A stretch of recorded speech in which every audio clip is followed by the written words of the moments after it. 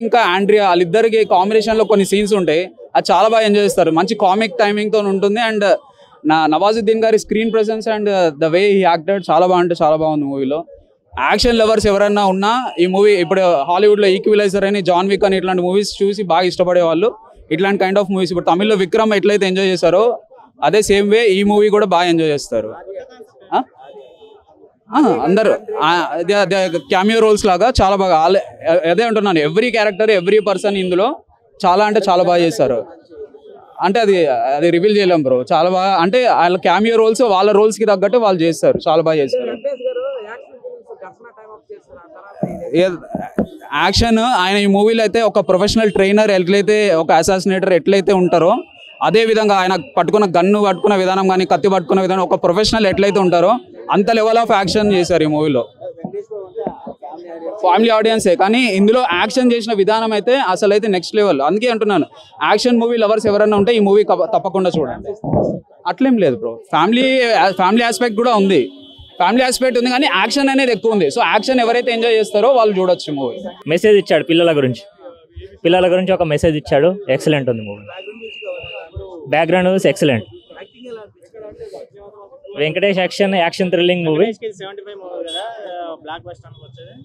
This is Sankranti blockbuster movie Venkatesh పోయి return రాలేక చనిపోయారు. అది ఆ- టై అదే ఒక టైటిల్ సైంధవ్ అని. అంటే ఇక్కడ చుట్టూ ఉండే సమాజంలో జరిగే ఆప్యాయతను అక్కడే దాంట్లోనే వర్క్ చేస్తున్నాడు. మరీ చిన్న చిన్న వ్యక్తులకు మళ్ళీ సంఘ విద్రోహ శక్తులకు దొరకకుండా అతను చెడ్డ పనులు చేస్తున్నాని దూరంగా వాళ్ళు ఇచ్చిన వైఫ్ మాట కోసం దూరంగా జరిగి అతని పనిలో అతను చూసుకుంటాడు. మరీ చెడ్డగా ప్రవర్తిస్తే మాత్రం బ్యాక్ వస్తానే అని అంటాడు. కానీ వీళ్ళు ఊరుకోరు కదా దుష్ట శక్తులు ఊరుకోరు కదా. అలా వస్తారు కానీ ఈ నవాజ్ సిద్ధికి ఆయన యాక్షన్ అయితే సూపర్. అతను ఏదో ఒకటి చేయాలి మొత్తానికి. ఇది మెడిసిన్ పదిహేడు కోట్ల మెడిసిన్ అంటారు. పదిహేడు కోట్ల మెడిసిన్ ఉంటుందా అంటే అంతకన్నా ఎక్కువ మెడి- కోట్లనే ఉంటుంది. మనం యాక్చువల్లీ కరోనాతో ఇప్పుడు సేఫ్ అయ్యాం యాక్చువల్లీ. ఎన్నో కంట్రీలకి దొరక ఎన్నో ఎంతో లాస్ అయింది మాకు ఫ్రీగా దొరకాయి. నిజంగా ఇది అతని అది నవాజ్ సుద్దికి లవ్ స్టోరీ అయితే సూపర్. అతన్ని ఇంకా ఈమె సద్దా శ్రీనాథ్ గారి సపోర్టింగ్గా ఉంటుంది హీరోయిన్గా. ఆమె చాలా బాగా చేసింది. పాప స్టోరీ అయితే చిన్నపిల్ల చాలా బాగా సూపర్ ఉంది. ఇంకా బీట్ అంటే కలెక్షన్స్ అయితే వస్తుంది. అది ఎంతవరకు వస్తాయి అనేది తెలియదు అది అంచనాలుగా మూవీస్ అయితే చాలా బాగుంది. కొత్త స్టోరీ ఖచ్చితంగా. చా ఏ మరి అవి ఇవి కలిపి పెట్టారు అని అనుకోకండి. మూవీ అయితే కొత్త స్టోరీ. సూపర్గా ఉంది మూవీ. అతను అంటే వ్యసనాలు ఒక లిమిట్గా ఉండాలి అన్నట్టు బాగా చూపెట్టారు. సంఘంలో జరిగే కొంచెం మెసేజికల్ మెసేజ్ మంచి మెసేజ్ సినిమా మళ్ళీ సెంటిమెంటల్గా అంటే అతని కూతురు కోసమే కాకుండా అతను ఎంతగా పోరాడాడు వేరే వాళ్ళ కోసం కొంచెం అవేర్నెస్ పెంచేలా సూపర్గా ఉంది. మూవీ అయితే సూపర్గా ఉంది rating five out of five మంచి సినిమా మంచి డైరెక్షన్ బాగానే ఉంది అంటే మొత్తం మొత్తం వైలెన్సే ఉంటుంది. లైక్ జాన్ విక్ లాగా అనిపించింది కొంచెం చెప్పాలంటే. బట్ చూ పేరెంట్స్కి వాళ్ళకి నచ్చదు. యూత్కి అయితే బాగా అట్రాక్ట్ అవుతుంది. కొంచెం కొంచెం. అంత ఏం కనెక్ట్ కాదు.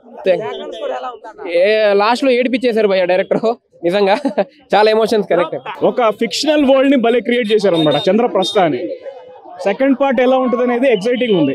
అది. థ్యాంక్ యూ అన్న సినిమా అయితే కొద్దిగా నచ్చలే. మా అమ్మ గురించి చెప్పాలంటే కూడా నాకు బాధ అనిపిస్తుంది.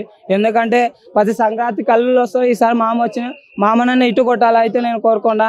కానీ కొద్దిగా డిసప్పాయింట్ అయిపోయినా. ఈ శైలేశ కులను సైకో పెద్ద సైకో లాగానే చూపించిండు. ఎందుకు ఇట్లా చేసిండో నాకు అర్థమైతలేదు. కొన్ని దాంట్లో కామెడీ సీన్స్ డైలాగ్స్ అయితే బాగుండేవి. బ్యాక్గ్రౌండ్ మ్యూజిక్ లాస్ట్లో ఎమోషన్ సీన్స్ బాగుంది. ఇంకోటి నవదీప్ అనే ఆయన క్యారెక్టర్ అనేది చాలా సూపర్ ఉంది. ఆయన యాక్టింగ్ కానీ మామ యాక్టింగ్ కానీ వీళ్ళవే మా మెయిన్ అయితే ఉన్నాయి ప్లేస్ మిగతా అంతా అంత రొటీన్ స్టోరీ రొటీన్ ఫైట్లే ఇవే కొద్దిగా అనిపించింది. యాక్షన్ సీన్స్ అయితే హెవీగా ఉండే. అంటే ఫ్యామిలీ కాకుండా పిల్లలు చూడాలంటే కొద్దిగా ఇబ్బంది అనవచ్చు ఈ సినిమా ఈసారి సంక్రాంతి విన్నర్ అయితే హనుమాన్ మూవీ ఇంకా ఏ మూవీస్ అయితే కష్టం. నాసామినంగా వచ్చేది ఉంది కాబట్టి ఇంకా మనం చెప్పలేం. ఎప్పటికైతే హనుమాన్ మూవీ ఇటు ఈ సినిమాలన్నీ అయితే అంత లేదు. కానీ శైలేష్ కూడా కొద్దినైనా కామెడీ పెట్టినా అమ్మ ఫ్యామిలీ ఆడియన్స్ వచ్చి ఫుల్ ఎంజాయ్ చేసేవాళ్ళు. మామ నుంచి ఎంత ఎక్స్పెక్ట్ చేశారు? కానీ లాస్ట్లో ఎమోషన్ మామని ఏడు. అసలు ఆ ఎమోషన్ అయితే చూడలేకపోయా మామ ఎక్స్ప్రెషన్స్ అయితే పీక్స్ అసలు కాన ఎక్స్ప్రెషన్ తోపింగ్ అన్న మించి లేదా. అవి అయితే బాగా నచ్చినాయి కానీ సినిమా స్టోరీ పరంగా అవి అయితే కొద్దిగా డిసప్పాయింట్ అయినా అన్న కొద్దిగా. స్టోరీ అసలు కరెక్ట్ స్టోర్ అనేది టెల్లింగ్ అనేది మంచి లేదు. స్టోర్ అనేది కరెక్ట్ పర్ఫెక్ట్ రాసుకోలేడు. అవి ఈ స్టోర్ పోతే ఎంగేజింగ్గా తీద్దాము. ఇట్లా చూద్దాం. మామని ఇలా కామెడీ అన్న ఒక నార్మల్ క్యారెక్టర్ నుంచి తీసినా గానీ మా నమ్మ ఈరోజు వేరే లెవెల్ ఉండేది. ఎందుకు ఇట్లా చేసిండో సైలెస్ ఒకను పెద్ద సైకోతో అందుకనే అది ఏదో సైకో అని పెట్టిండు కదా దాంట్లో కూడా. ఇంకా ఒకటి ఏదంటే టూత్పేస్ట్ది బాగుంటుంది. మీ టూత్పేస్ట్లో లో రక్తం ఉంది అనే సీన్ బాగుంటుంది. బెంచ్ స్టోక్స్ అది బ్యాంచ్ అవుతుంది బెంచ్ స్టోక్ అలా అంటే ఫ్యామిలీని చూస్తారు కదా. అదైతే ఆ సీన్స్ పెట్టినారు. కొద్దిగా అయితే డిసప్పాయింట్ చేసినారు. సైలెస్ కొలం ఎమోషన్ సీన్స్ లాస్ట్లో ఎమోషన్ సీన్స్ కనెక్ట్ అవుతాయి. నేను మసాలా సినిమా నాకు డిసప్పాయింట్ చేసింది కదా తర్వాత ఈ సినిమాని. నేను మామ సినిమాలు ఎన్నో చూసినాను. ఇంకోటి ఈ సంక్రాంతికి మామ విన్నర్ కావాలని నిన్న కూడా చెప్పినాను. ఈ రోజు అసలుకి డిసప్పాయింట్ అయ్యి ఇట్లా చెప్తున్నా అంటే మామ అంటే నాకు ఎంత ఇష్టమో నాకు తెలుసు. ఎందుకంటే ఆయన హనుమాన్ మూవీ పక్క హనుమాన్ మూవీ అయితే సంక్రాంతి విన్నర్ అదైతే రాసి సినిమాని చూడాలనుకుంటారు. అదిలో వెంకటేష్ గారు అంటే ఇంకా ఎక్స్పెక్టేషన్స్ మామూలుగా ఉండవు. ఆ డైరెక్టర్ అది కొద్దిగా తప్పాడని అనిపిస్తుంది అన్న నాకు. ఫస్ట్ హాఫ్ అయితే కొంచెం స్లో ఉంది స్లో నరేషన్గా అక్కడక్కడ ఉంది. కొన్ని కొన్ని సీన్స్ కానీ అక్కడక్కడ చూసినట్టు అనిపిస్తుంది అనమాట అదే అదన్న వైలెన్స్ ఎక్కువ ఉందన్న. వైలెన్స్ అసలు మరి అంత వైలెన్స్ అవసరమా అనిపిస్తుంది హనుమాన్ అన్న హనుమాన్ ఇటు. అది హనుమాన్ ఇటుగా నేను ఏం చెప్తున్నా అంటే డైరెక్టర్ హీరో కాదు అది. ఆ దేవుడే నడిపిస్తున్నాడు ఆ సినిమా. ఏంటంటే భక్తి పరంగా అందరూ దానికే కనెక్ట్ అయిపోతున్నారు. కొద్దిగా నిలబడతాయి అన్న. సైన్ ఏంటంటే దేవుడి సినిమా దేవుడిని చూపించిన విధానం ఏంటంటే ఆ విధంగా ఉంది. ఆ- అందువల్ల దూసుకొని వెళ్ళిపోతా ఉందన్న. ఓవరాల్గా సైంధవ సినిమా చూడండి బాగుంటది. Thank you rate five three point one ఇస్తాను సైకో సైకో సైందవ్ శైలేష్ కొలను సైందవ్ సినిమాలో మెయిన్గా చెప్పుకోవాల్సింది వెంకటేష్ గారి యాక్టింగ్. ఏముందన్న అసలు? చాలామంది వెంకటేష్ గారు అంటే ఫ్యామిలీ ఆడియన్సే వస్తారు. మాస్ వాళ్ళకి అంతగా నచ్చదు. అని అనే వాళ్ళందరికీ నేనంటే ఇది అనే ఒక డెబ్బై ఐదవ ఫిలిం సెవెంటీ ఫిఫ్త్ ఫిలింతో ప్రూవ్ చేశాడు నిజంగా నాకైతే. చాలా అంటే చాలా బాగా అనిపించింది అన్న. చాలా అంటే చాలా బాగా అనిపించింది ఆయన యాక్టింగ్ కానీ ఆయన లుక్స్ కానీ ఆయన అంటే కొందరికి ఒక స్లాగ్ ఉంటుంది. స్లాగ్ని మిస్ కాకుండా స్లాగ్ని క్లియర్గా చేశారన్న. నాకు చాలా అంటే చాలా బాగా నచ్చింది. కానీ దీంట్లో మెయిన్గా నాకు నచ్చని పాయింట్ ఏంటంటే స్టోరీలో ఇంకొంచెం పట్టుంటే బాగుండేదేమో అనే ఫీల్ అయితే నాకు వచ్చింది.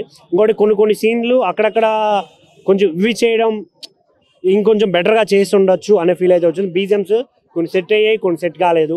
ఇంకోటి రొటీన్గా తీసుకెళ్ళిపోయాడు. ఏంటంటే కన్న కూతురు చచ్చిపోద్దని తెలిసి విలన్తో ఎలా పోరాడతాడు? విలన్స్ నుంచి వాళ్ళకి కావాల్సింది ఎలా తీసుకుంటాడు అనే డైరెక్ట్ పాయింట్తో చూపించిన విధానం కానీ ఇంకొంచెం బెటర్గా చేస్తుంటే బాగుండేమో అనే ఫీల్ అయితే వచ్చింది. బట్ సినిమా ఓవరాల్గా చూసుకుంటే యావరేజ్.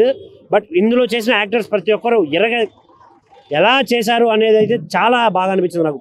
అంటే ఆండ్రియా గారు ఆర్యా బ్రో ఇంకోటి నవాజ్ అనే ఒక వ్యక్తి చేసిన యాక్టింగ్ అయితే నవాజుద్దీన్ చింపేశాడని చెప్పాలన్న. Wow amazing look like a wow అన్నట్టు.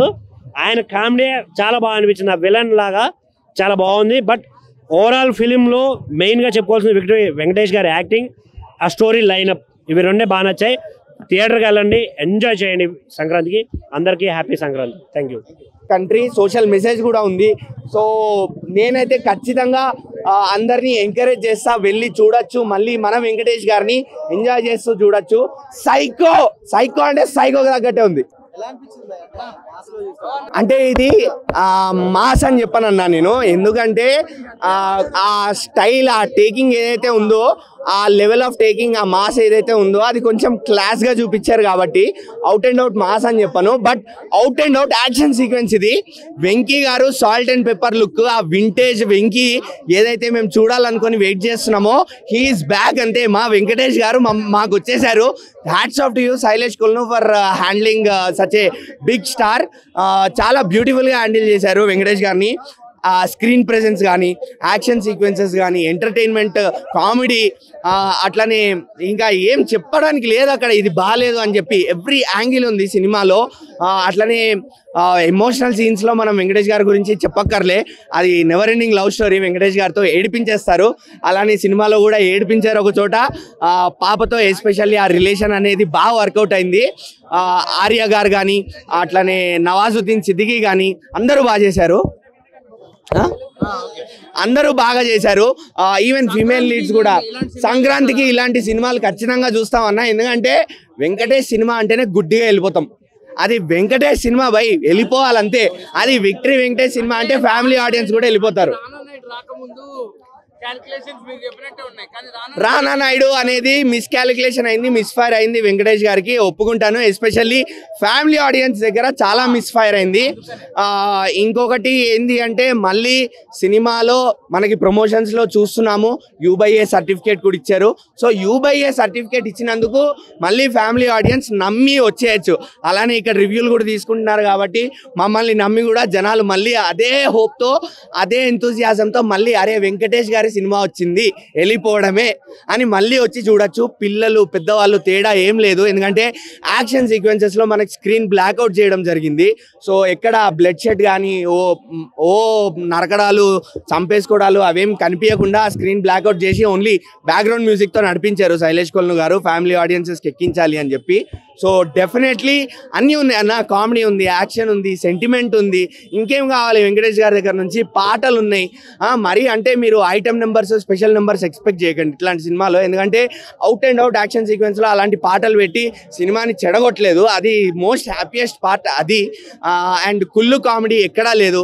యాక్షన్ సీక్వెన్సెస్ కూడా ఓవర్గా ప్లాన్ చేసి ఓవర్ ఫైట్లు ఇచ్చేసి అరే ఏంద్ర యాక్షన్ సీక్వెన్సెస్ అని ఎక్కడా లేదు. సో చాలా బ్యూటిఫుల్గా వర్కౌట్ అయింది ఎవ్రీ ఆస్పెక్ట్ నేను నేనైతే త్రీ పాయింట్ ఫైవ్ ఖచ్చితంగా ఇస్తా.